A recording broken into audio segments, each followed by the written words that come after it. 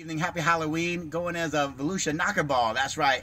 Israel and Angie are making things happen here in Volusia County. Come out, check out VolusiaKnockerball.com. Take care.